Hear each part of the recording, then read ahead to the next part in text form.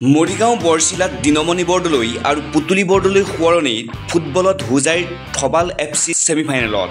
মৰিগাঁও জিলাৰ বৰচিলা ক্ৰীড়া সন্থাৰ উদ্যোগত বৰচিলা স্কুল খেলপথাৰত চলি থকা দিনমণি বৰদলৈ আৰু পুতুলি বৰদলৈ সোঁৱৰণি সদৌ অসম ভিত্তিত আমন্ত্ৰণমূলক প্ৰাইজমানী ফুটবল প্ৰতিযোগিতাত হোজাইৰ থবাল এফ চি ছেমিফাইনেলত উপনীত হৈছে। এই প্ৰতিযোগিতাৰ মঙলবাৰে অন্তিমখন কোৱাৰ্টাৰ ফাইনেলত হোজাইৰ থবাল এফ চিয়ে জালুকুটি এফ চিক ছয় শূন্য গ'লত বিধ্বস্ত কৰে। খেলখনত থবাল এফ চিৰ হৈ আনিব সিং আৰু হিলিম সিঙে দুটাকৈ তথা কবিৰাজ সিং আৰু চকাটেং সিংহই এটাকৈ গ'ল দিয়ে। খেলখন পৰিচালনাৰ ৰেফাৰী শ্বাহেদুৰ ৰহমানক সহায় কৰে ৰোজ আহমেদ আজিজুল্লা খান আৰু ইনামুল হুছেইনে। বৰচিলা ক্ৰীড়া সন্থাৰ সভাপতি কুঞ্জৰাম বৰদলৈ আৰু সম্পাদক পৰাগ বৰদলৈ জনোৱা মতে এই প্ৰতিযোগিতাৰ অহা দুই নৱেম্বৰত প্ৰথমখন ছেমিফাইনেলত বহমপুৰ নৱম অসম আৰক্ষী বাহিনীয়ে ডাঙৰীয়া গাঁও এফ চিৰ বিৰুদ্ধে প্ৰতিদ্বন্দ্বিতা আগবঢ়াব।